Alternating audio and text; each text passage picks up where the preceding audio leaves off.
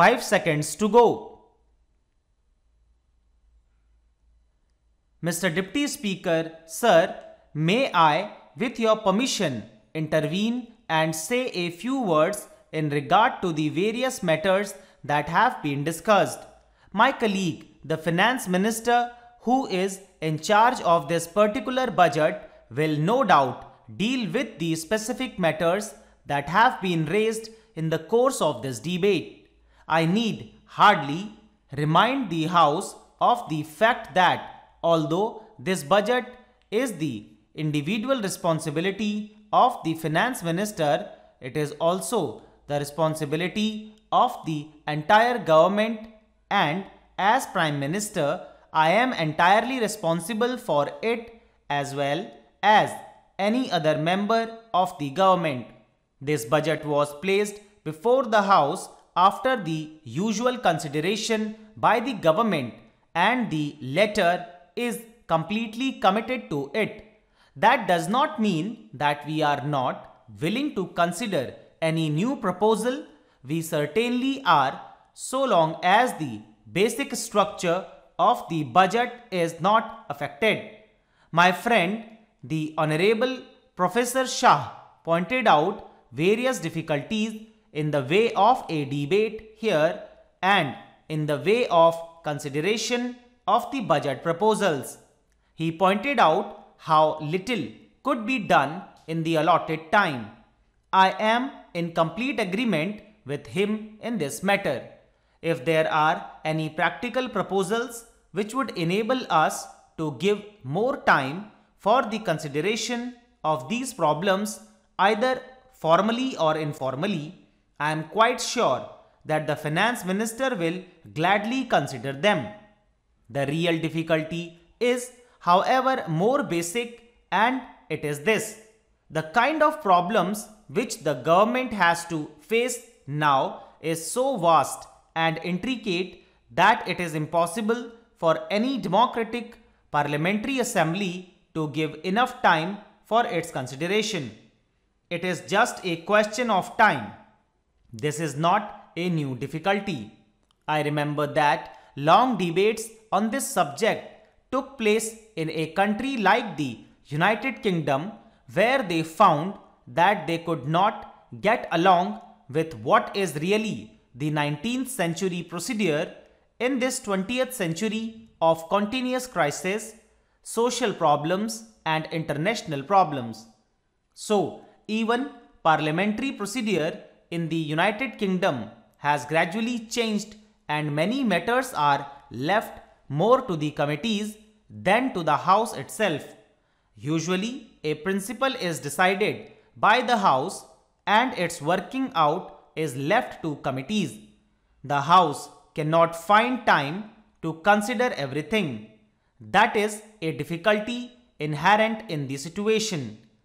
If we can find a remedy for it, it will not only be good for us, but maybe we will be setting an example for other democratically inclined countries who are seeking such remedies. In spite of the fact that Parliament is in continuous session, it is not able to find time to consider in detail all the important matters that come up. We have, in fact, much less time because we are not in continuous session. I suppose our sessions will inevitably become longer and longer so as to enable us to deal with more and more problems and have more and more discussions. Anyhow, I have stated what the difficulty is at present. Though I am in sympathy with what Professor Shah said, I have no easy remedy for that difficulty except to say that we are perfectly prepared to consider together with the honorable members of the House any ideas or suggestions about how to give greater facilities for more intensive discussion of any great problem. An honorable member referred to the budget speech as being directly or indirectly a survey of all manner of problems domestic, international, economic, foreign, etc. The House can hardly expect the finance minister's budget speech to be a survey of all these tremendous problems, although they have no doubt some bearing on the budget. The world is becoming far too intricate and difficult for us to be able to keep the full picture in view always. As I listened to the honorable member who spoke just now, I was wondering whether we had the larger picture in mind or were getting lost in few minor and secondary matters. For instance, having referred to the government's extravagance, the honorable member went on to say certain things in regard to our bringing forward a bill for giving a pension and approach to the president.